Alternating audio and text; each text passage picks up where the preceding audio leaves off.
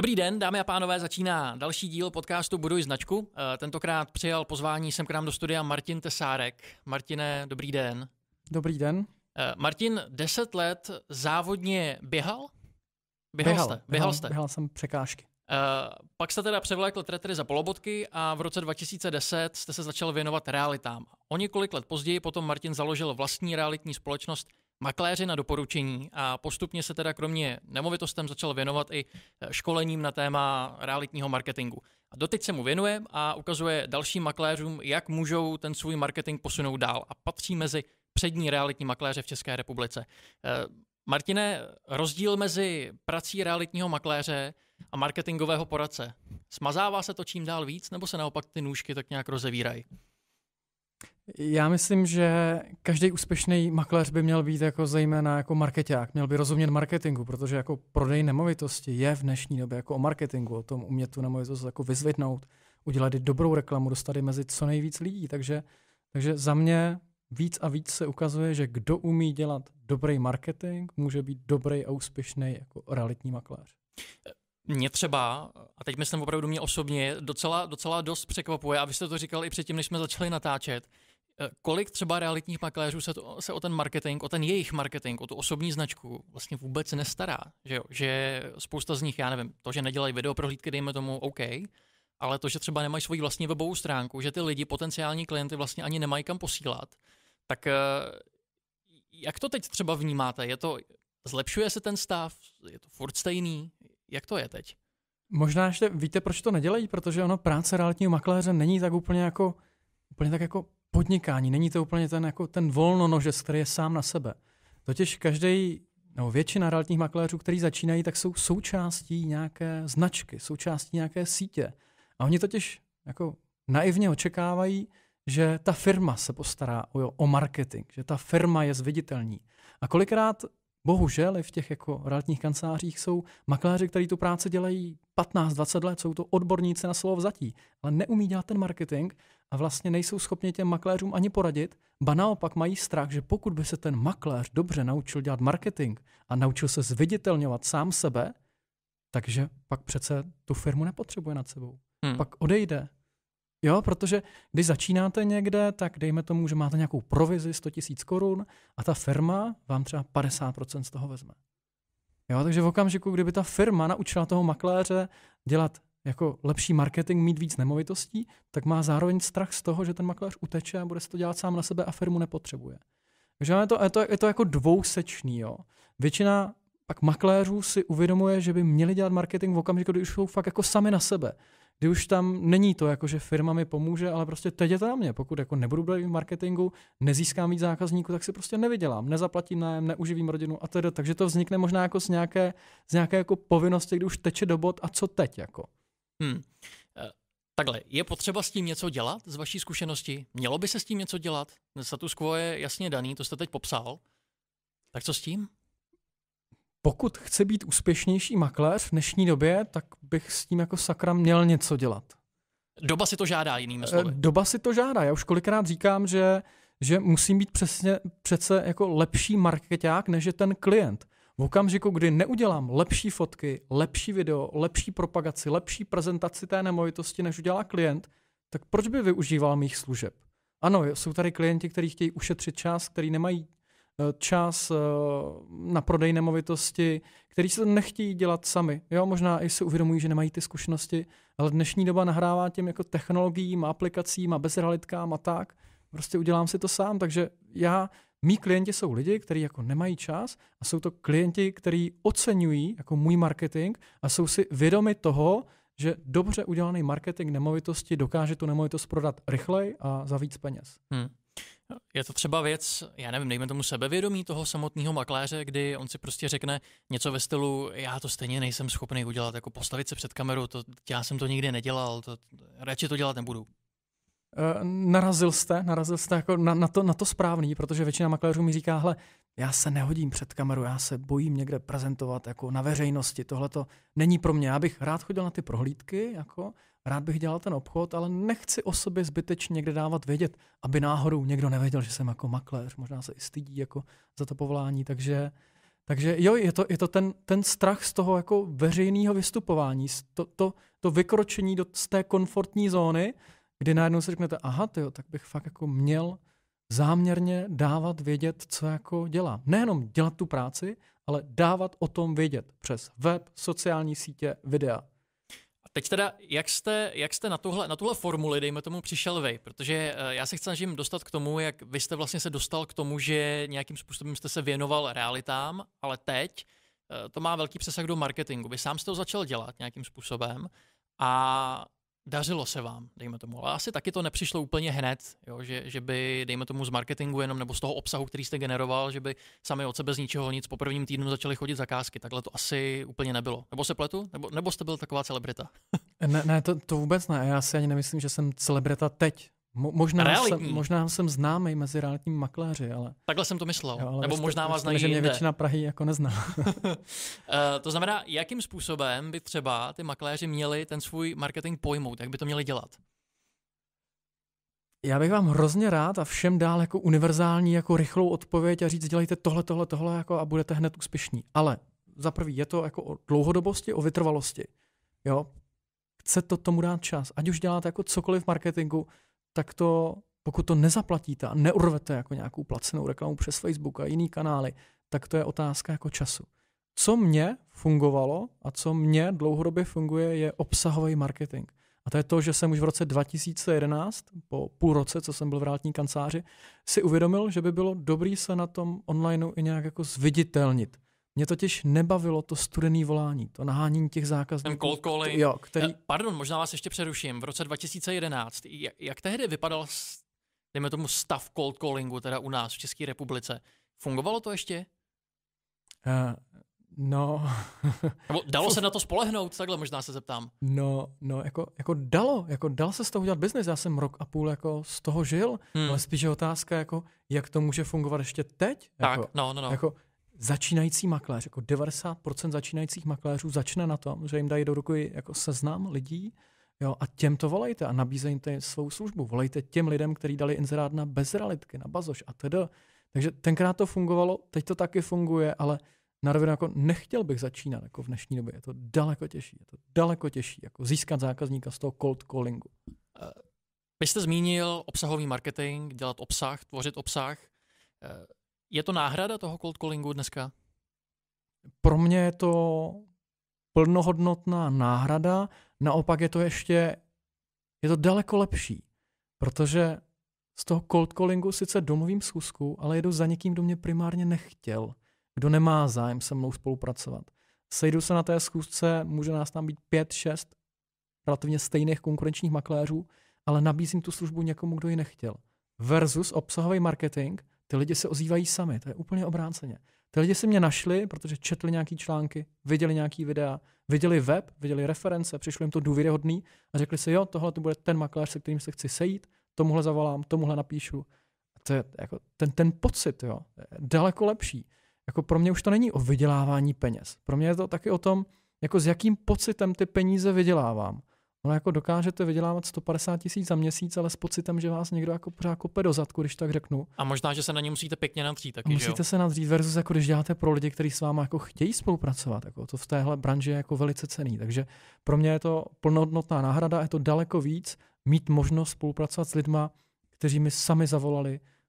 A totiž v ten okamžik si já i můžu jako klást podmínky, že jo? říct, bude to takhle, tahle, za tuhle tu cenu, máte zájem, nemáte zájem Versus když přijdu na cold, na cold calling, tak tam, abych uspěl, tak musím mít cenou co nejníž. Jasně, tady jste najednou, tady se ty role, nechci říct obracejí, ale minimálně vyrovnávají, že vy jste ten, kdo se najednou může diktovat nějakou podmínku. Určitě, já nechci, aby to vyznělo arrogantně, ale je to fakt úplně mm. jako něco jiného, když jako mi někdo zavolá a chce se mnou dělat. Jo, to já si ani nemyslím, že by to bylo nějakým způsobem arrogantní, jo? že je to zkrátka taková jednoduchá psychologie, že ty lidé přišli za vámi, to znamená, že vy rozhodujete, jestli se na ně uděláte čas. Přesně tak. Uh, ještě se zpátky zastavím u toho obsahového marketingu, protože tam tuším, že může zaznít spousta, spousta cených rad. Eh, vy jste říkal, že vám ty zakázky vlastně, že se to obrátilo a že vám ty zakázky chodí z toho, z toho obsahu, který vygenerujete. Jak dlouho to trvalo, než začalo něco chodit? Půl roku, určitě. Já se nepamatuju přesně jako hmm. počet dnů, ale, ale vím, že třeba půl roku to trvalo. Jo, ale ono je to jako trichtýř, do kterého jako házíte jako nějaké jako věci a za půl roku to vypadne, ale pak to konstantně neustále vypadává. Takže jenom na vás do toho pořád házet, aby to na konci někde vypadávalo. Takže půl roku to asi trvalo, ale pak už to konstantně jako fungovalo vlastně a funguje doteď. Jo. Pro mě zhruba 50% biznesu je referenční biznis, kdy jsem jako někomu prodal nemovitost nebo pomohl koupit, je se mnou spokojený, ozve se, doporučí mě. A dalších 50%, což je jako docela velký číslo, to je právě ten online, to je ten obsah, to, to jsou ty lidi, kteří mě neznali, kteří mě našli na internetu, uvěřili mi, zavolali mi a mají zájem se mnou spolupracovat.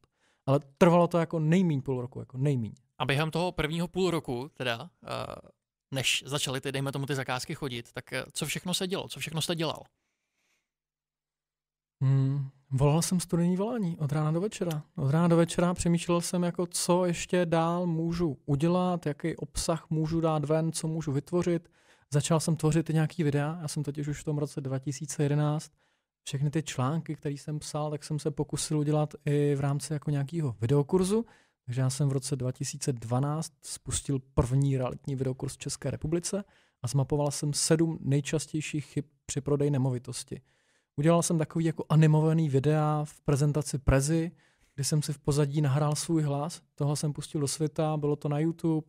Uh, vlastně byla tam i nějaká jako landing page, kde jsem vybíral za to mailovou adresu.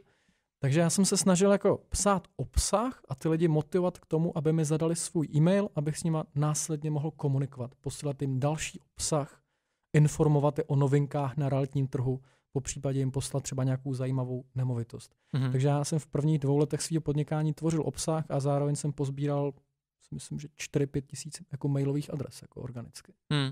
Tak to je jasný, že s těma adresama už se potom dá docela hmm. hezky nakládat ve chvíli, kdy je takhle seberete. Uh, já se totiž snažím dostat k tomu, že tam musel být nějaký moment, kdy jste si řekl, kruci, tak tohle to bude jako fakt hodně těžká práce, tohle mi nějaký čas zabere, musím do toho ten čas investovat, musím do toho investovat peníze a jako nebude to jednoduchý pravděpodobně teď nějakou dobu. Eh, kde jste na to vzal sílu? A co je jednoduchý v životě?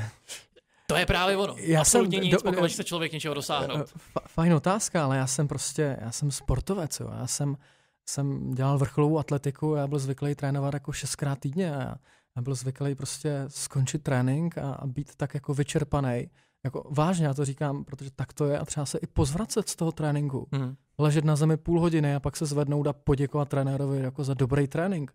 A věděl jsem, že to bylo hrozný jako ty tréninky, ale věděl jsem, že to má smysl, protože když takhle usilovně budu trénovat a vydržím zdravej, tak jako za rok můžu ty závody vyhrát jsem nečekal, že budu jako dobrý atlet zítra. Já jsem, my jsme měli nějaký cíl a ten cíl byl jako jeden, dva za rok. To bylo mistrovství republiky a splnit nějaký další limity. A prostě proto jsme každý den trénovali. A ty tréninky jako nebyly jednoduchý. A takhle beru i podnikání. Jako. Já to vždycky říkám, jako, dobrý, tak začneš hrát dneska fotbal, že jo? tak za dva týdny, co z tebe bude? Nic moc. Za dva roky si možná zahraješ okresní přebor, za pět let možná první rigu, když budeš mít talent a štěstí a za deset let možná budeš hrát v reprezentaci tak já jsem v realitách teďka 9 let a možná už jako pomaličku mířím do té reprezentace, ale pořád je to jako těžký, hmm. ale stojí to za to. Dobrá paralela mimochodem, sportování a podnikání. Často se, často se to mezi to dává, mezi to dává rovnítko. Eh, co třeba vnímáte jako nejdůležitější, dejme tomu, společné jmenovatele těchto těch dvou aktivit? Sportovec, třeba jako vy, vrcholový sportovec, a vrcholový podnikatel? Vytrvalost, cílevědomost, mít nějaký cíl, za kterým jako jdu a, a neuhnout, jako, neuhnout, prostě být od začátku přesvědčený, že toho jednou dosáhnu. Jako. Fakt jako nenechat se zvyklat, nenechat se vychýlit jako k jinému sportu, k jiné tréninkové metodě, mít nějaký plán, v mém případě i toho sportovce, jako mít nějakého kouče, který mě vede a v tom podnikání je to pro mě taky důležitý.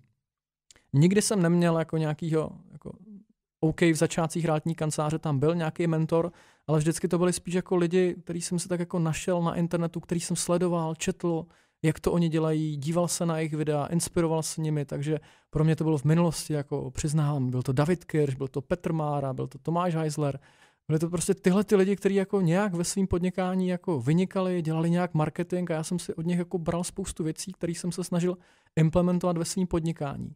A pro mě ještě důležitý, jako jak jsem říkal, nenechat se ještě odradit jako aktuálními jako neúspěchy. V tom sportu je to zranění, že jo? No, tři měsíce nemůžete nic dělat a pak se další půl rok vrácíte k tomu jako zase nějakému výkonu. V tom podnikání je to pro mě jako stejný, jo teď se mi nedaří třeba, ale no a co, za tři měsíce třeba udělám jako super obchod a vydělám si stovky tisíc a celý mi to jako vrátí. Jo. Takhle, takhle to beru, že je to dlouhodobá věc. Mm-hmm. A když se třeba na školeních nebo na workshopech, co děláte pro, pro realitní makléře, když se s nimi bavíte, uh, možná se vám třeba nebude chtít odpovědět teď, ale tušíte z nich, že uh, na to mají, dejme tomu, že opravdu můžou dosáhnout toho, toho svého maxima, že to vydrží, dejme tomu klidně třeba to zranění, když přijde, nebo nějaký neúspěch? Uh, no, já mám to štěstí, že na mý školení chodí už většina jako schopnějších makléřů, kteří jsou v realitách třeba pět let a díl a jsou to fakt zkušení profíci a chtějí trošku jenom vypilovat to své podnikání, ten svůj marketing. Já vždycky říkám, že to školení by potřeboval nejvíc ten, kdo tam zrovna není.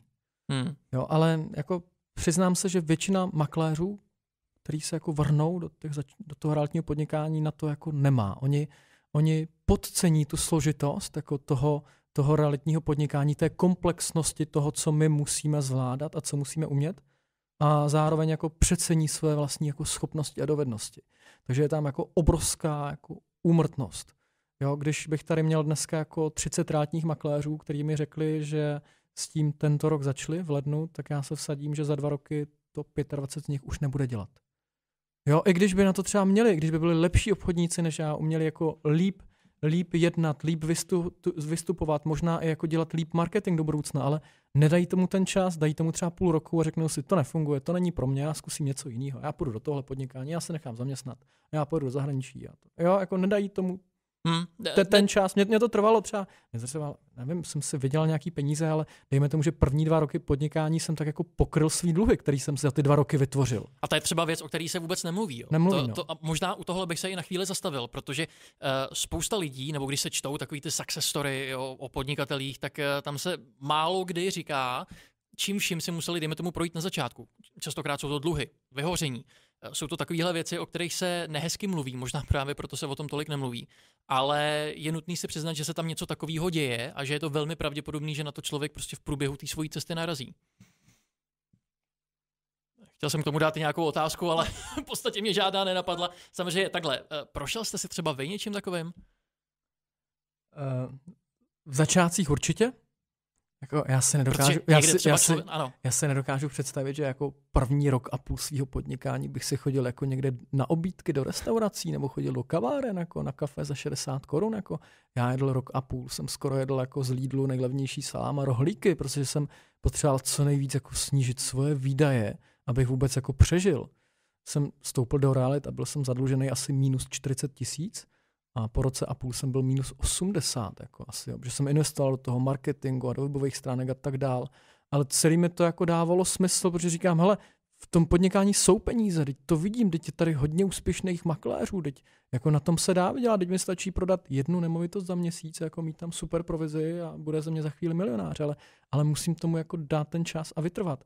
Takže měl jsem za sebou spoustu jako takových jako momentů a pak i budoucnu, kdy vás klienti jako obchází, kdy ten obchod udělají jako bez vás takový jako nože dozad, jo, ale prostě i přesto jako jde se dál a je to určitý riziko podnikání. Že jo. Kde jste třeba čerpal energii pro to, abyste tohle překonal, protože to vůbec nejsou hezký pocity, co člověk zažívá. To je pravda, tak něco, něco vychází asi z toho sportu, že jsem jako zvyklý to, tohle jako na ten, na ten jako nekomfort dlouhodobý. A, a druhá věc je, jako, co jiného bych dělal? Jsem si pokládal tu otázku. Já studoval fakultu tělesné výchovy a sportu, takže jsem vlastně jako učitel tělocviku, ale maximálně druhý stupeň základní školy, protože jsem bakalář. To mě vážně nemotivovalo tohle. A říkám, co bych jako sakra dělal, teď já vlastně, jako, já jenom ty reality tak nějak. Teďka možná už marketing, možná bych někomu radil, možná bych se dokázal někde zaměstnat. A tr. Ale já jsem tenkrát v tom jako prvním roce dvou podnikání nevěděl, co jiného bych dělal. Jako. Měl jste třeba takovou tu myšlenku, uh, tak já nevím, tak já půjdu, když to nevíde, no tak se nechám zaměstnat. Eh, když to nevíde v mé hlavě, nikdy není. Jako. Já, já nikdy nic neskouším. Jako. Já si to na začátku hodně, hodně, hodně promyslím. A v okamžiku, kdy tam jako vkročím, tak už jsem přesvědčený a nepochybuju. To je jako když hrajete ruletu, jo. tak v okamžiku, kdy už hodíte tu kuličku, tak jako už nemá cenu jako přemýšlet, jako prostě už jste se rozhodli, hodili jste to tam, vsadili jste peníze a teď čekáte, co padne. Jako. Ale ne, že by hrál ruletu, ale to parafrázu Michala Horáčka, který tohle to říkal.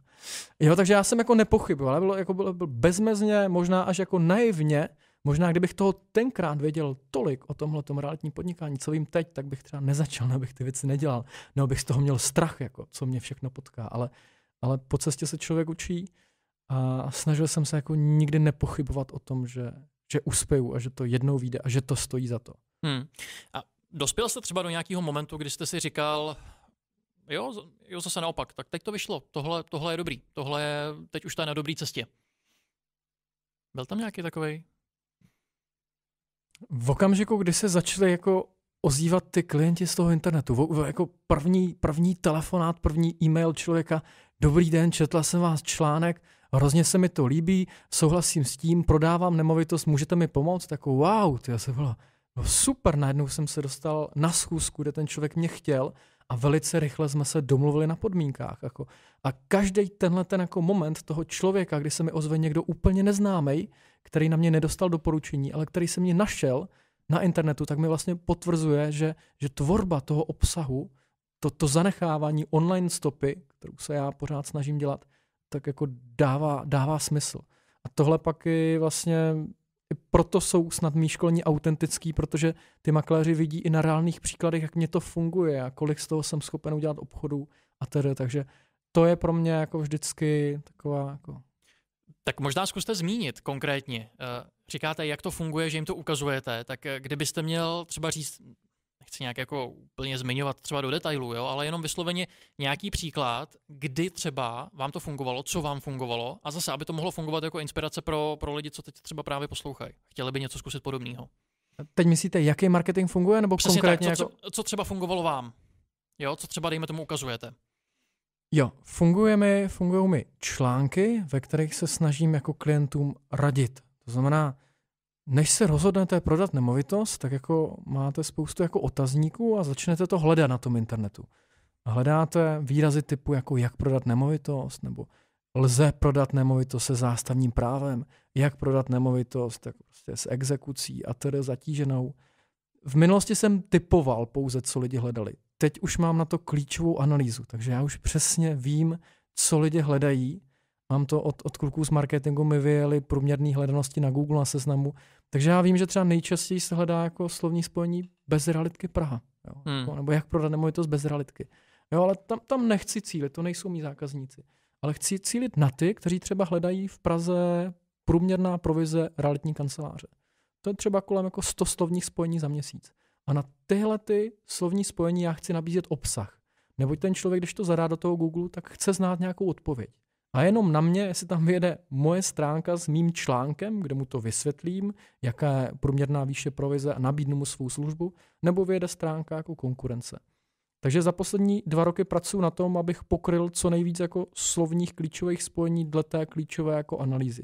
Ale vždycky to jsou jako odpovědi na otázky, které lidi jako hledají, které jim můžou pomoct. Já jim ukážu, že jsem odborník, já v nich zbudím nějakou důvěryhodnost a jistým způsobem ty lidi i trošku vystraším, hraju si s těma emocema, s tím strachem a říkám jim, není to tak jednoduchý, jak se píše, zabere to spoustu času, stojí vás to hodně peněz, zvládnete to, nechcete raději pomoct realitního makléře, jsem seriózní, dělám to 9 let, mám tady stovky referencí, žádný prostě negativní komentáře za sebou, takže odpovídám na nejčastější otázky svých klientů jednoduše. Hmm. Ze začátku ale jste říkal, že jste to dělal tak nějak pocitově, než jste si nechal vyjet jo. odbornou analýzu. A tam bych se možná zastavil, protože eh, když se člověk nějakým způsobem třeba interpretuje právě výsledky, analýza klíčových slov a tak dále, tak, eh, tak to je jedna věc, už do toho teda vložil nějakou investici finanční. Eh, když to chce dělat pocitově, třeba protože začíná a ještě se mu do tohohle úplně nechce, tak co byste mu poradil? Já v těch začátcích, já jsem už byl v realitách asi půl roku nebo tři čtvrtě roku, když jsem začal psát. Jo, takže byly to vlastně zase odpovědi na otázky, které mě lidi pokládali na prohlídkách, na schůzkách. Je tam nějaký penzum otázek, na který se vás lidi neustále ptají. Co je lepší? Notářská, advokátní, bankovní úschova, co je bezpečnější? Na co si mám dát pozor, když kupuju nemovitost? Jo, na co se mám dívat? Jak jako nenaletět? Jako, jo, jak se vyznat v listu vlastnictví a tedy, jak prodat nejlevněji nebo nejrychleji. Takže to byly ty otázky, které jsem vlastně dostával od těch lidí na těch schůzkách, na prohlídkách, takže tohle byly moje první články. Třeba jeden z prvních článků jsem popisoval rozdíl mezi advokátní, notářskou a bankovní úschovou a to byl velice populární článek. Tohle by se velmi dobře dalo i generalizovat, protože ono to není jenom o realitách. Po každý vlastně odpovídám na otázky lidí. Snažím se jim poskytnout, dejme tomu nějakou hodnotu, tím, že jim právě poskytnu odpověď na něco, co třeba hledají v realitách je to jasný, ale dobrý je, že se to dá vztáhnout opravdu asi úplně na všechno. Hmm. Souhlasím. Je třeba něco, co vám opravdu nefungovalo? Co, co byl fakt jako průšvih? V tom obsahovém marketingu? Ano. Nenapadá mě nic, jako co je bylo vyloženě průšvih. No, jsou články, které jako nikdo nečte, ale Nevím, někteří se prostě třeba... jako ne- nepovedli napsat dobře, zaindexovat, udělat správný SEO, a to jsem tenkrát ani neznal. Jako. Nevím, jsou články, mám články, které navštíví měsíčně 1400 lidí, to jsou ty nejlepší, mám články, které navštíví 10-20 lidí.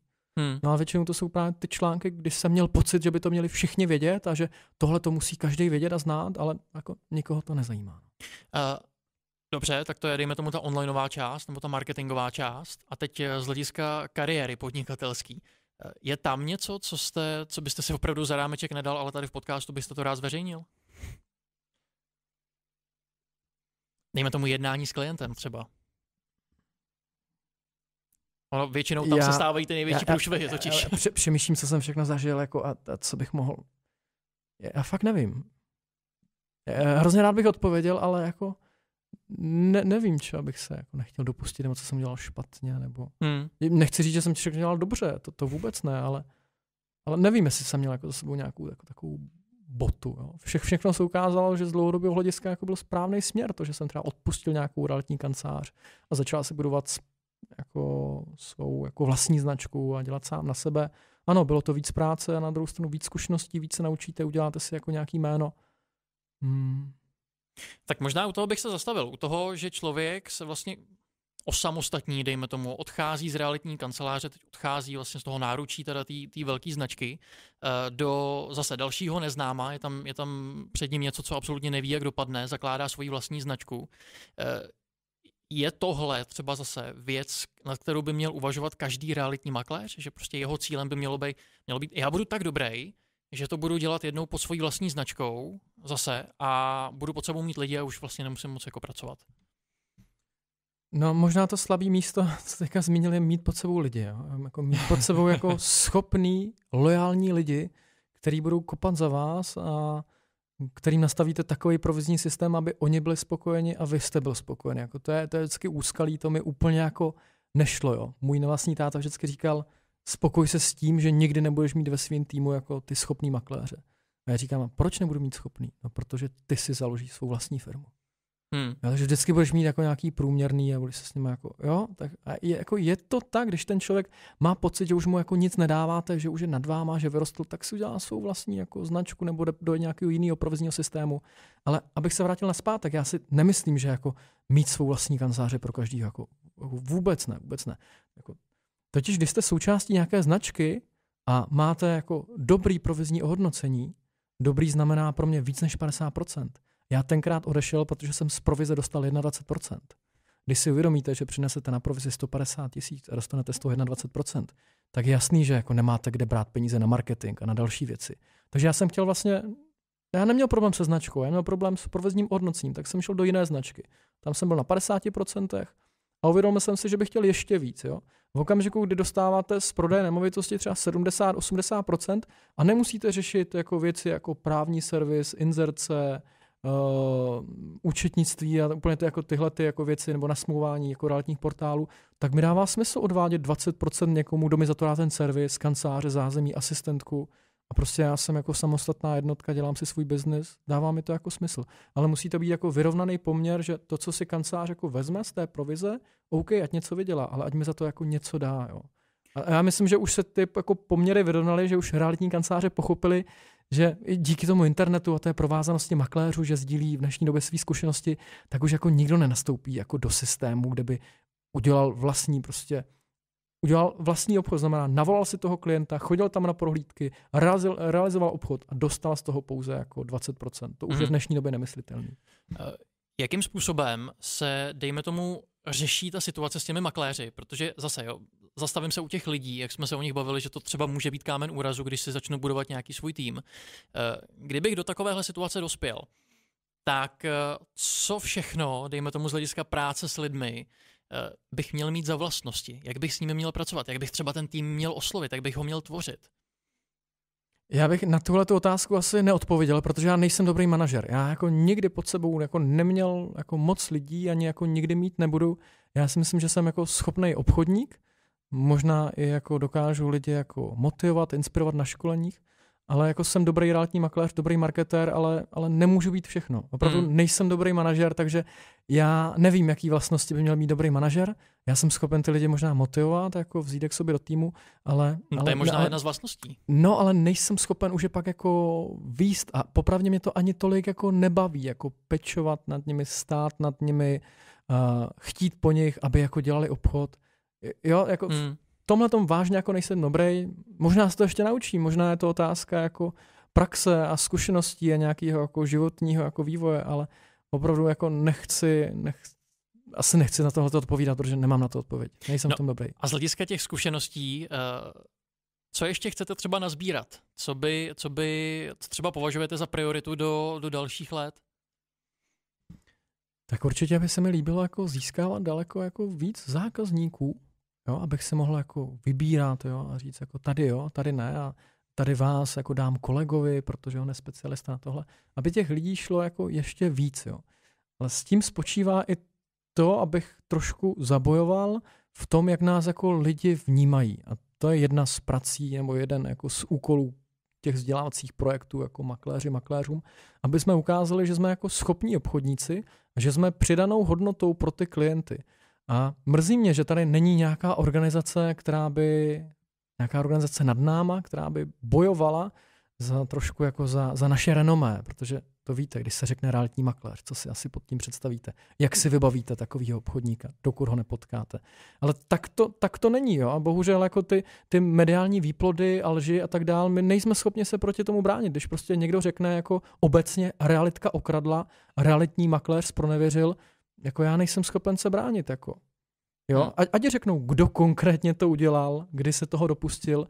Ale tohle je takový jako hrozně zobecňování, který mě nebaví a, a vlastně to trošku jako ubíjí a, a nepomáhá nám to. Já jsem se dlouhou dobu totiž jako styděl za to říct někomu, že jsem realitní makléř, jako svým kamarádům, protože si automaticky na vás dají nějakou nálepku. Takže já bych chtěl, aby jsme trošku jako kultivovali nějakým způsobem ten český trh, aby si řekli, jo, jo, tak jsou tady špatní makléři, ale jsou i dobří, kteří nám dokáží pomoct, ušetřit čas, vydělat peníze, najít nemovitost, o celý se to postarat, jako najít dobrý investiční byt, starat se o zprávu a tedy. Jo, takže, takže možná to bych chtěl spíš jako docílit. A to se pak promítne i v té ochotě jako využívat naše služby. Tak Martine, v první řadě, ať se to daří, eh, v té druhé, kde se s vámi lidé můžou spojit? Spojit se s mnou můžou třeba na webových stránkách, mám stránky Martin Tesárek Real Estate, takže mtre.cz, jsem aktivní na Facebooku, na YouTube, tam přidám docela jako zajímavý videa s investiční tématikou a sociální sítě a tak. Mám i telefon, mám i e-mail a všechno to najdete na Google, když si zadáte moje jméno, je to jednoduchý. Martin Tesárek, děkuji moc, že jste přišel. Děkuji za pozvání a za příjemné otázky. Eh, no a pokud se vám tenhle díl podcastu Buduj značku líbil, tak eh, budu moc rád, pokud ho ohodnotíte v aplikaci Apple Podcast, buď recenzí nebo počtem hvězdiček. Zároveň budu taky moc rád, když nás budete odebírat buď v aplikaci Apple Podcast, nebo Spotify, nebo Google Podcast. Mějte se krásně, budu se na vás těšit zase u dalšího dílu.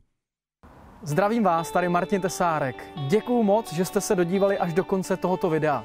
Pokud potřebujete prodat nebo pronajmout nemovitost kdekoliv v České republice, zavolejte mi a nebo se podívejte na video vpravo dole.